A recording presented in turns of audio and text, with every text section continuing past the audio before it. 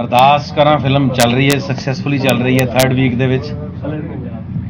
Humble motion pictures ਤੇ ਬਾਕੀ ਸਾਰੇ ਕਲਾਕਾਰਾਂ ਦਾ ਇਹ ਸਾਂਝਾ ਉਦਮ ਹੈ। ਇਹ ਫਿਲਮ ਕਮਰਸ਼ੀਅਲ ਸੋਚ ਨਾਲ ਬਿਲਕੁਲ ਨਹੀਂ ਸੀ ਬਣਾਈ ਗਈ।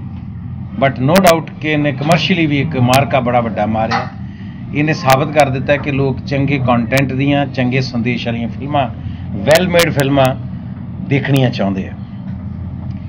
ਪਰ ਸਾਡੇ ਅੱਜ ਇੱਥੇ ਆਉਣ ਦਾ ਮਕਸਦ ਇਹ ਹੈ ਕਿ ਅਸੀਂ ਇੰਨੇ ਸਾਲ ਮੈਨੂੰ ਵੀ ਹੋ ਗਏ ਫਿਲਮਾਂ 'ਚ ਕੰਮ ਕਰਦੇ ਹਾਂ ਜੀ 15 ਕੁ ਸਾਲ ਤਾਂ ਹੋ ਗਏ ਘੱਟੋ ਘੱਟ ਪਰ ਮੈਂ ਆਪਣੀ ਜ਼ਿੰਦਗੀ 'ਚ ਕਦੇ ਇਦਾਂ ਦੇਖਿਆ ਨਹੀਂ ਸੀ ਕਿ ਇੱਕ ਚੰਗੇ ਸੁਨੇਹੇ ਵਾਲੀ, ਚੰਗੇ ਸੰਦੇਸ਼ ਵਾਲੀ ਗੁਰੂ ਸਾਹਿਬ ਦੇ ਮੈਸੇਜ ਦੀ ਪ੍ਰੋੜਤਾ ਕਰਦੀ ਕੋਈ ਫਿਲਮ ਬਣੀ ਹੋਵੇ ਔਰ ਇੱਕ ਐਡੀ ਵਧੀਆ ਆਰਗੇਨਾਈਜੇਸ਼ਨ ਵੱਲੋਂ ਫਿਲਮ ਦਾ ਹੀ ਲੰਗਰ ਲਾਤਾ ਜਾਵੇ। ਸੋ ਗੁਰਦੁਆਰਾ ਸਿੰਘ ਸਭਾ ਮਾਡਲ ਗ੍ਰਾਮ ਲੁਧਿਆਣਾ ਨੇ ਉਦਮ ਕੀਤਾ।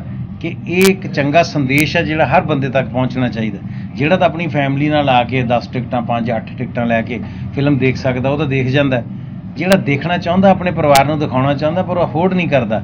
ਇਹਨਾਂ ਨੇ ਟਿਕਟਾਂ ਦਾ ਲੰਗਰ ਲਾਤਾ ਕਿ ਇਹ ਫਿਲਮ ਤੁਸੀਂ ਆਪਣੇ ਪਰਿਵਾਰਾਂ ਸਮੇਤ ਆ ਕੇ ਦੇਖੋ। ਅਸੀਂ ਤੁਹਾਡੀ ਟਿਕਟ ਸਪਾਂਸਰ ਕਰਦੇ ਹਾਂ, ਫ੍ਰੀ ਫਿਲਮ ਦੇਖੋ, ਰਾਤ ਦੇ ਸ਼ੋਅ ਨੇ। ਉਸ ਤੋਂ ਬਾਅਦ ਇਹ ਵੀ ਨਹੀਂ ਸੋਚਣਾ ਕਿ ਹੁਣ ਜਾ ਕੇ ਰੋਟੀ ਕਿੱਥੋਂ ਖਾਣੀ ਹੈ। ਲੰਗਰ ਛੱਕ ਕੇ ਜਾਓ, ਪਰਮਾਤਮਾ ਦੀ ਬਖਸ਼ੀ ਹੋਈ ਦਾਤ ਹੈ। ਲੰਗਰ ਤਾਂ ਕਦੇ ਵੀ ਵੈਸੇ ਘਟਿਆ ਹੀ ਨਹੀਂ। ਗੁਰੂ ਮਹਾਰਾਜ ਨੇ ਇੰਨਾ ਭਾਗ ਲਾਇਆ ਜੀ।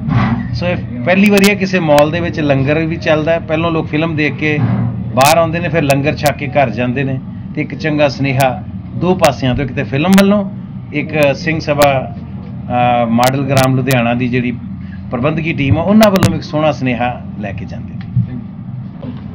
19 ਜੁਲਾਈ ਨੂੰ ਸਾਡੀ ਫਿਲਮ ਰਿਲੀਜ਼ ਹੋਈ ਅਰਦਾਸ ਕਰਾਂ ਜਿਹਨੂੰ ਬਹੁਤ ਵੱਡਾ ਹੁੰਗਾਰਾ ਪੂਰੀ ਦੁਨੀਆ ਦੇ ਵਿੱਚ ਰਹਿੰਦੇ ਪੰਜਾਬੀਆਂ ਨੇ ਦਿੱਤਾ ਹੈ। ਤਿੰਨ ਸਾਲ ਪਹਿਲਾਂ ਸਾਡੀ ਪਹਿਲੀ ਫਿਲਮ ਆਈ ਸੀ ਅਰਦਾਸ। ਸੋ ਉਸ ਫਿਲਮ ਨੂੰ ਵੀ ਬਹੁਤ ਵੱਡਾ ਹੁੰਗਾਰਾ ਮਿਲਿਆ ਸੀ। ਸੋ ਅੱਜ ਅਸੀਂ ਸੰਗਤਾਂ ਕੋਲ ਪਹੁੰਚੇ ਹਾਂ। ਪਹਿਲਾਂ ਵੀ ਸਾਨੂੰ ਇਸ ਸਿਨੇਮੇ ਵਿੱਚ ਆਉਣ ਦਾ ਮੌਕਾ ਮਿਲਿਆ ਕਿਉਂਕਿ ਮਾਡਲ ਗ੍ਰਾਮ ਜਿਹੜੀ ਸਿੰਘ ਸਭਾ ਗੁਰਦੁਆਰਾ, ਉਸ ਕਮੇਟੀ ਨੇ ਪਿਛਲੇ ਡੇਢ ਹਫ਼ਤਿਆਂ ਤੋਂ 200 ਦੋ ਹਫ਼ਤਿਆਂ ਤੋਂ ਲਗਾਤਾਰ ਤਿੰਨ ਸ਼ੋਅ ਰੋਜ਼ ਹਾਊਸਫੁੱਲ ਹੁੰਦੇ ਨੇ ਸਿਨੇਮੇ ਦੇ ਵਿੱਚ। ਤੋਂ ਉਸ ਤੋਂ ਬਾਅਦ ਸ਼ੋਅ ਖਤਮ ਹੋਣ ਤੋਂ ਬਾਅਦ ਲੰਗਰ ਲਾਇਆ ਜਾਂਦਾ ਮੈਂ ਸਮਝਦਾ, ਸਾਨੂੰ ਸੰਗਤਾਂ ਨੇ ਬਾਰ-ਬਾਰ ਇਹ ਕਿਹਾ ਕਿ ਅੱਜ ਤੋਂ ਕਿੰਨੇ ਸਾਲ ਪਹਿਲਾਂ ਇੱਕ ਫਿਲਮ ਆਈ ਸੀ, ਨਾਨਕ ਨਾਮ ਜਹਾਜ਼। ਉਸ ਤੋਂ ਬਾਅਦ ਅੱਜ ਇੱਕ ਫਿਲਮ ਇਹੋ ਜਿਹੀ ਪੰਜਾਬੀ ਸਿਨੇਮੇ ਦੇਖਣ ਨੂੰ ਮਿਲੀ ਹੈ।